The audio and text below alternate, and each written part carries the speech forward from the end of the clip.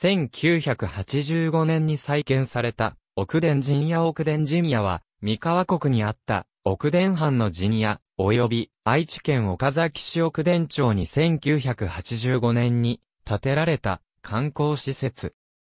徳川秀忠に仕え、大阪の陣の先行により三千国を与えられた松平真治が、荻生に陣屋を構えたことから奥田松平家は、始まる。第二代上次の時一万六千国の大名となり、宝永四年に奥田に陣屋が完成したため第四代城馬が移った。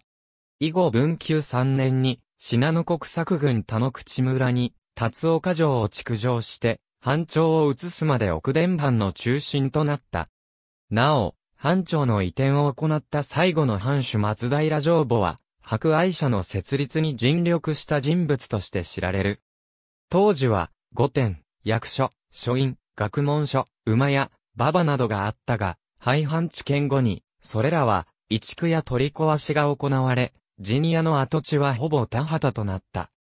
近辺の岡崎市、桑原町にある、総統州の寺院、流慶院の栗になっていた書院が、跡地に移築され、1985年4月20日、奥田ジニアの名でオープンした。